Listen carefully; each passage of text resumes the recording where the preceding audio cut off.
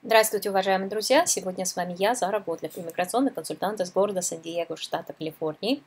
Надеюсь и желаю, что у всех все идет хорошо.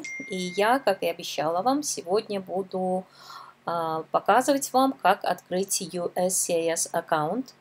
Как видите, я нахожусь на в Гугле, и здесь я уже написала My USCIS аккаунт, и когда вы пишете, то он вам выдает вот несколько таких страниц, и я захожу сюда, My USCIS page, и сейчас начну вам показывать, как это работает. Но прежде чем продолжим, я еще раз вам напомню, что на своем инстаграм-аккаунте я знакомлю а, со всеми новостями. Сейчас идет очень активная работа здесь. И если вы желаете, можете зайти и сделать меня follow в Инстаграме, потому что новости будут идти оттуда также. Значит, Здесь у меня не очень много постов, потому что мы только недавно начали. Вот это я такая красавица. А здесь я говорила об о том, что такое USCIS аккаунт, и здесь я вам пообещала, что мы с вами снимем видео на эту тему, если у вас будет желание. Значит, а, давайте начнем. Как мы это будем делать? Значит, как мы уже сказали, мы сейчас находимся на веб-сайте USCIS, называется myuscis.gov. А, Затем мы идем вот сюда, sign in, и мы нажимаем на это Create Account. Это значит, мы с вами сейчас будем открывать аккаунт. Для того, чтобы открыть аккаунт, у вас должен быть действующий email, куда вы можете войти. Поэтому заранее подготовьте ваш email. Значит, я для этих целей создала э, новый email, потому что мы будем сейчас открывать с вами новый аккаунт. И мой, э, мой email называется, это просто для эм, для цели, чтобы показать вам ваш USCIS email at gmail.com. Значит, еще раз говорю, что вся информация на моем канале к ознакомлению только это не является юридическим советом, и все, что вы будете использовать, это под вашу ответственность. А я же иммиграционный консультант и помогаю только в заполнении иммиграционных форм. Я не адвокат. Итак, значит, идем дальше. Create account. Нажимаем Create Account. И он нас выводит вот на эту страничку. Значит, здесь мы в обоих, в обеих этих графах мы должны написать наш email. Значит, как я вам уже сказала, я здесь пишу ваш USCIS email. Упс, ваш USCIS email собачка gmail.com gmail.com, а вы будете писать свой email, который вы будете использовать. И, значит, и здесь мы его опять повторяем. Точно так же, как и там написано USAS, email. Так, gmail.com. Значит, посмотрите, чтобы у вас все совпадало. Ваш USCIS email – Gmail и также ваш USAS email от Gmail. Если а, как убедились, что у вас тут все правильно, нажимаете слово Sign Up. Итак, значит, вам пошло uh, Sign Up сюда.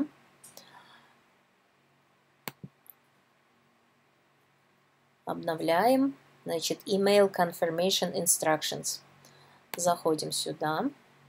И вот здесь мы нажимаем, они говорят, подтверди свой email. И вот здесь мы нажимаем вот эту голубенькую ссылку. Мы нажимаем на нее. Затем они вам говорят про условия использования этого аккаунта для USCIS. И также здесь они говорят о том, что открывайте этот email а, этот аккаунт только для себя одного, не добавляйте других членов семьи. Здесь вы нажимаете I agree, это значит я согласен или я согласна. И затем они вам говорят, напиши свой паспорт. Значит, ну, давайте напишем какой-нибудь такой строгий паспорт, и они говорят, your password must be between 8 and 64 characters значит, должен содержать буквы числа, специальные знаки и emojis. Хм, emojis тоже есть. Окей, значит, show passport для того, чтобы знать, а, какой у вас паспорт будет. И мы напишем, к примеру, так, с большой буквы my account 2020, например, USA и три таких знака. Так.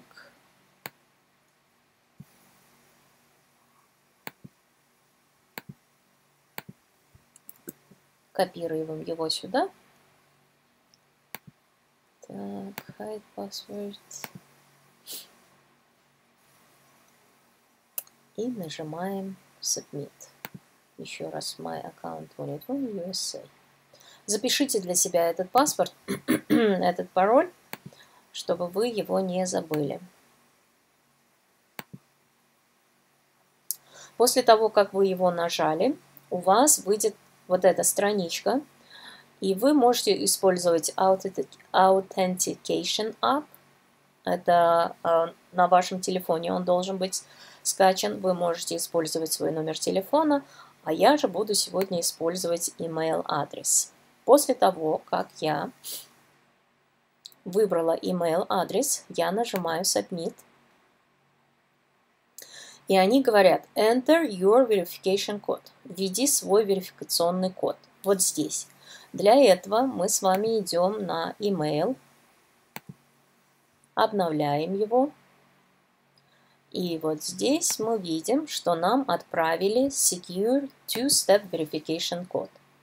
Значит, как мы видим, вот у нас здесь есть этот код, мы его копируем и идем сюда на эту страничку и вставляем. Вставляем этот код, еще раз говорю, мы идем на свой email адрес, берем вот этот verification код, копируем и вставляем его сюда, нажимаем слово submit. Затем у вас выходит Two-Step Verification Backup код. Это обычно вам нужно для того, чтобы, например, если вдруг по каким-то причинам вы потеряли доступ к своему аккаунту, он у вас всегда будет. Поэтому вы его должны обязательно записать или его сделать export as PDF, или же просто сфотографировать, а я же просто сделаю скриншот и оставлю его для себя. Затем После того, как вы это записали, сохранили, нажимаем на слово Proceed. Это значит Continue. То есть продолжаем. И вот здесь у вас выходят вопросы. Значит, security questions, для чего они вам нужны? Например, они вам нужны для того, чтобы reset your password, чтобы изменить ваш паспорт, ваш пароль примеру, по каким-то причинам вы потеряли доступ, и когда вы захотите обновить ваш пароль, вы должны будете заполнить вот эти все графы. И вы должны будете а, ответить на эти вопросы, и главное, чтобы они не были одинаковыми. Значит, начинаем, значит, если вы нажмете вот сюда, у вас выйдет очень-очень много вопросов но я пойду по порядку, которому они здесь указали. И, предположим, а, мою учительницу, опс, мою учительницу звали Вера. Дальше идет. В каком городе ты встретила а, или встретил своего мужа, свою жену, ну, в любом. В каком вы написали, в каком вы встретили, в том и пишите. Я напишу в Сан-Диего. Так. И дальше, а, какая была ваша работа, первая, в которой, где вам заплатили? Ну, скажем, это было school. Так, все надо писать на английском, естественно. Значит, первое, спорт, который вы играли. Значит, волейбол. Я была волейболистка, кстати.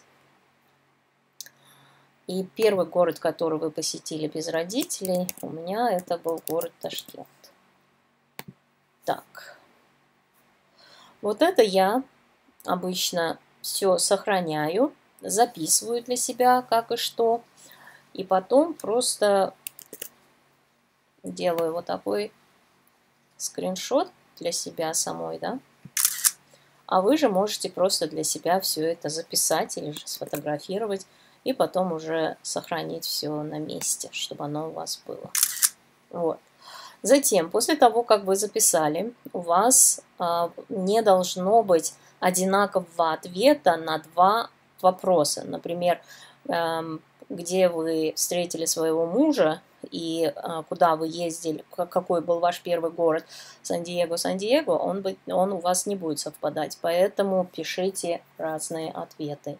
Или же выбирайте. И как я уже сказала, вы можете зайти сюда и выбрать любой вопрос, который вы хотите. Нажимаем слово Submit. Значит, и вот здесь у нас идет, какой тип аккаунта у вас будет. Так как вы сами заполняете на себя I'm applicant. I'm an applicant, petitioner or requester. Если вы legal representative, это там аккаунт, э, адвокат или еще кто-то, вы выбираете это. А так вы сами на себя, когда вы нажимаете I'm applicant or petitioner. Опять нажимаем слово Submit.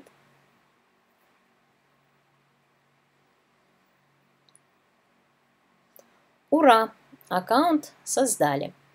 Значит, после того, как вы создали свой аккаунт, у вас выйдет очень много вот таких э, окошечек. Значит, в этих окошечках очень важно разбираться. Значит, Предположим, давайте э, покажу вам один э, вариант. Предположим, вы отправили свой кейс, и затем в этом кейсе вы, например, получили уже письмо, в котором говорится, что мы получили твой кейс, и вот это твой номер кейса. Для этих целей они говорят add a paper filed case. Вот здесь. Добавь свое, свой кейс, который ты отправлял в бумажном варианте.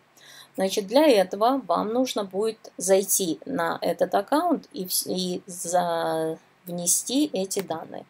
У меня нет аккаунта, но я не могу как бы э, добавлять, использовать номера клиентов. Для этого очень-очень легко вы можете набрать здесь ваш номер кейса. Предположим, просто сделаем номер кейса 1, 2, 3, 4, 5, 6.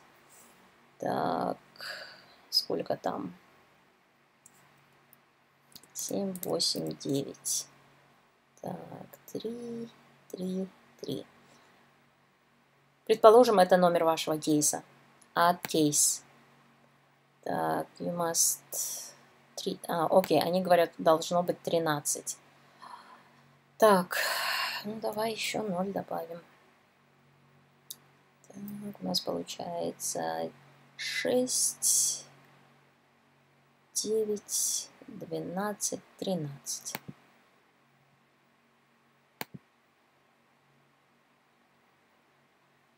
И так как, видите, я просто с балды написала, они здесь пишут, мы не можем найти твой кейс. Поэтому, когда у вас будет ваш номер кейса, вы просто набираете ваш кейс, вот тут номер кейса, и пишите add case, и у вас получится, а, и у вас зарегистрируется этот номер кейса. В целом, очень-очень легко. Дальше. Значит, если вы хотите заполнить какие-то формы онлайн, вот здесь дается, какие формы можно заполнить онлайн. Значит, мы в основном работаем с формами I-90. Это когда вам нужно а, обновить вашу грин-карту. Дальше это по гражданству. Это если вы потеряли свой naturalization сертификат. Или же это вы хотите получить Certificate of Citizenship, тоже это делается онлайн, и форма I-130, и также, если вы хотите продлить свой статус. Предположим, я выбираю, например, Application to Extend, э, продлить мой статус. Нажимаете Start Form, затем у вас идут все эти вопросы, ответы, и э, они вам пишут здесь что вам для этого нужно, сколько это стоит, и вас в целом уже ведут с самого начала до конца к этому. Очень интересный, и очень легкий, я бы сказала, такой аккаунт. В целом, здесь вы можете подтвердить свою личность. Здесь они вас попросят ответить на номера, внести ваш A-номер, документ, если вы хотите этого, если вы хотите это сделать, и дальше внести свои данные сюда. В целом очень-очень легкий такой аккаунт, я бы сказала. Вы можете его открыть за 15 минут и, в принципе, будет очень удобно за ним смотреть. Значит, заходим сюда. Опять-таки, после того, как у вас будут добавлены кейсы, у вас будет немножечко другое, а, другой интерфейс. Там будет My Documents, а, My Cases, и там вы можете заходить и смотреть. В целом, вот так очень легко можно открыть аккаунт. С вами была Зара. Как всегда, остаемся на связи. Еще раз напоминаю о том, что вы можете зайти на мой инстаграм-аккаунт, и также мой инстаграм-аккаунт ведет специалист, и если вам нужна помощь по ведению вашего инстаграм-аккаунта, я очень рекомендую эту девушку. Для ее контактов свяжитесь, пожалуйста, со мной. Всего доброго, с вами была Зара, пока!